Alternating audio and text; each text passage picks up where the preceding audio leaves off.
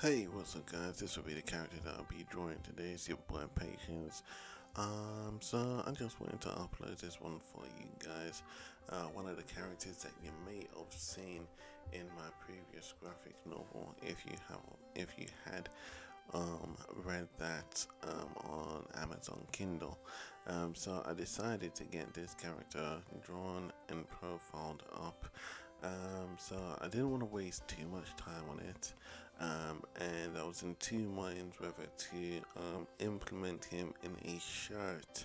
Um, but once started getting a bit carried away with drawing his pecs, you know, his muscles and stuff, I kind of figured I'd draw him out of his garments for this one.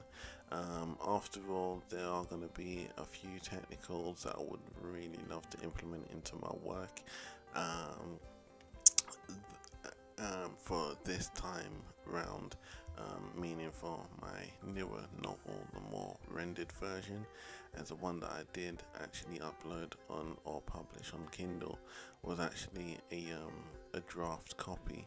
Um, so I will kind of uh, bring out a lot more of my characters' um, techniques and uh, a lot more of their range um, for this one. But anyway, guys, I hope you like what you see. It's your boy Pashants. Leave your thumbs, your likes, and your comments down below. Your boy,